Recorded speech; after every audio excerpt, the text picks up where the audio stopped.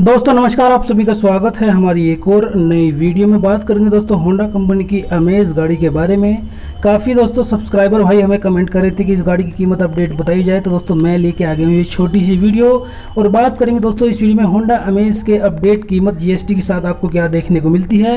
Optional charges यानी कि दोस्तों, इस पर अगर आप ज़ीरो डैप इंश्योरेंस का प्लान लेते हैं road side assistant extended warranty और एसेसरीज जैसे ऑप्शनल चार्जेस के बारे में बताऊँगा। और दोस्तों, इसकी फाइनेंस फाइनेंस की डिटेल यानी कि कम से कम आप इसकी डाउन पेमेंट और किस्त वगैरह क्या देख सकते हैं? यानी कि मैं इसका बताऊँगा पाँच साल छः साल और सात साल तक का ई का प्लान तो दोस्तों, सारी जानकारी जानने के लिए प्लीज़ वीडियो को आखिर तक ज़रूर कीजिएगा। तो पहले बात करते हैं इस गाड़ी के कैश प्राइस से। तो होंडा अमेज जो कि हमने इसका बेस वर्जन लिया है, यानी कि one point E manual transmission petrol में जो आता है दोस्तों, बात करेंगे उत्तर प्रदेश के नोएडा सिटी के प्राइस की। इसकी एक्सरूम प्राइस अपडेट है जीएसटी लगाने के बाद छः लाख बाईस हज़ार चार सौ उनतालीस रुपये रजिस्ट्रेशन यानी कि आरटीओ के आपके लग जाएँगे तिरपन हज़ार पाँच सौ पचानवे रुपये और इंश्योरेंस के लगेंगे अट्ठाईस हज़ार इकसठ। फास्टैग के पाँच सौ बनते हैं और दोस्तों, आपकी जो है कैश कीमत निकल के आती है सभी टैक्सीज को जोड़ने के बाद सात लाख चार हज़ार पाँच सौ पचानवे रुपये ये है इसकी कैश प्राइस अब बात करेंगे ऑप्शनल चार्जेस की।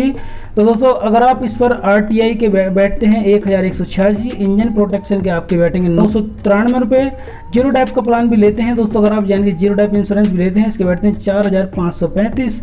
तो दोस्तों, ये आपके टोटल हैं।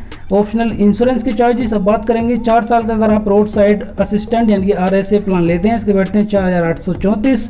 दो साल की एक्सटेंडेड वारंटी भी अगर आप लेते हैं इस गाड़ी पर इसके बैठते हैं दस हज़ार चार सौ अट्ठानवे। और एसेसरीज भी अगर आप लगवाते हैं इस गाड़ी पर तो दोस्तों इसके बैठेंगे चार हज़ार चार सौ उनचास। दोस्तों ये सब ये चार्जेस हैं, ये ऑप्शनल हैं। अगर आप इनको लेते हैं, तभी ये चार्ज लगेंगे, नहीं तो नहीं लगेंगे। अब बात करते हैं वीडियो के अंत में फाइनेंस डिटेल के बारे में। तो मान लीजिए अगर आप इसकी डाउन पेमेंट करते हैं एक लाख सत्तर हज़ार के आसपास, तब इस पर आपका लोन अमाउंट बैलेंस निकल के आता है। पाँच लाख चौंतीस हज़ार पाँच सौ पचानवे रुपये का अगर आप इस लोन को पाँच साल छः साल या सात साल के लिए फाइनेंस कराते हैं तो rate of interest eight percent लगाने पर दोस्तों पाँच साल का प्लान लेने पर आपकी पर मंथ की ई बैठती है दस हज़ार आठ सौ उनतालीस रुपये छः साल का प्लान लेने पर इसकी ई बैठेगी पर मंथ की नौ हज़ार तीन सौ तिहत्तर रुपये और सात साल यानी कि मैक्सिमम टाइम पीरियड के लिए अगर आप इस लोन अमाउंट को फाइनेंस कराते हैं, तब इसकी पर मंथ की ई बनती है आठ हज़ार तीन सौ बत्तीस रुपये दोस्तों ये है इसकी फाइनेंस की डिटेल सारी जानकारी मैंने आपको दी है, ये है उत्तर प्रदेश के नोएडा सिटी के। दोस्तों अगर आप कहीं अदर सिटी में रहते हैं तो आप हमें कमेंट कर सकते हैं मैं इसकी सारी जानकारी आपको बता दूँगा।